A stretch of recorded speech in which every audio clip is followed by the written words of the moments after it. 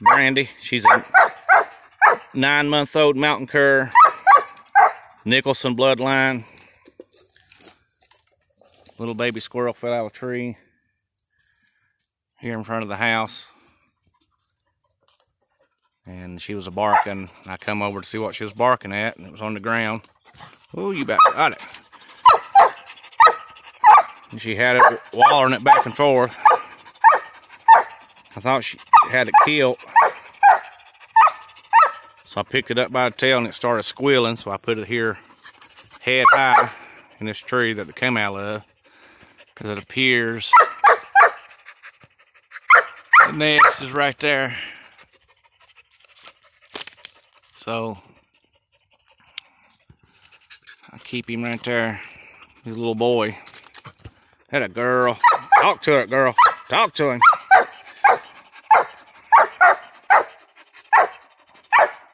Good girl. Good girl. Good girl nine months old. She treated her first squirrel at four months old. It was in a walnut tree there beside the house.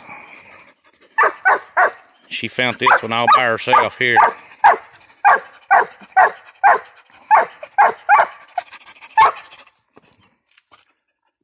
Looks like a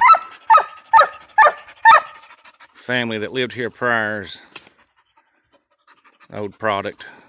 Little barrels and mason jars and stuff. So I gotta get over here and clean that up. Good girl.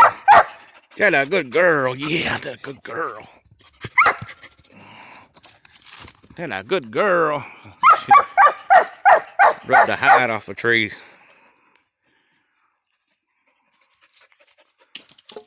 Well, just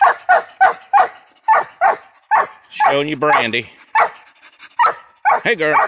Good girl. All right. Thank you for watching.